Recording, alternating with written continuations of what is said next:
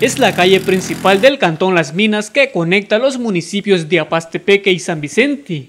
Las personas tienen que caminar con mucha precaución para no caer en estas grietas de casi un metro de profundidad que se han formado con las lluvias. El señor alcalde que promete y no cumple.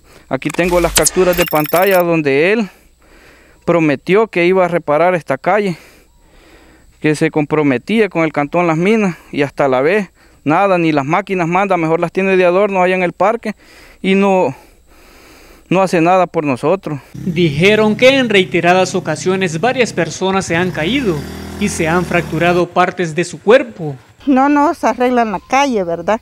Que le pertenece al señor Galileo Hernández de Pastepeque.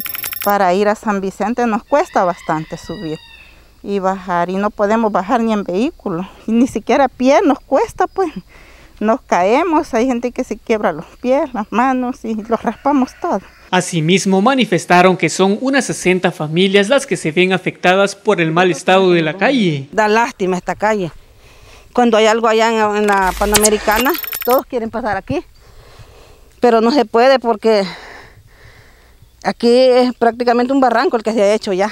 Ya tienen años de no darle mantenimiento a esta calle. Otro problema que según ellos les agobia es el cableado del tendido eléctrico, que pasa cerca de sus casas y debido a que está cubierto de monte puede hacer cortocircuito. Le dijimos primero a los del sur, los del sur nos dijeron que era problema de la alcaldía.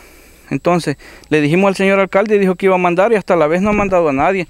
Y tenemos cerca el transformador, el transformador puede explotar cualquier momento pues cuando haga cortocircuito con eso. Ellos hicieron un llamado a la comuna de Apastepeque para que les ayuden a buscar una solución a estos problemas. Pero este señor no ha venido a hacerle nada aquí.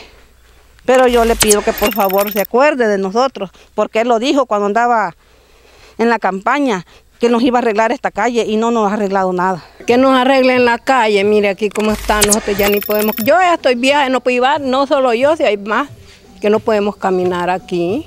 Y él nos ha dicho, vino que nos iba a ayudar, que nos iba a hacer la calle. Este es un informe especial de Canal 31 en San Vicente. Para Telenoticia 21, Juan Martínez.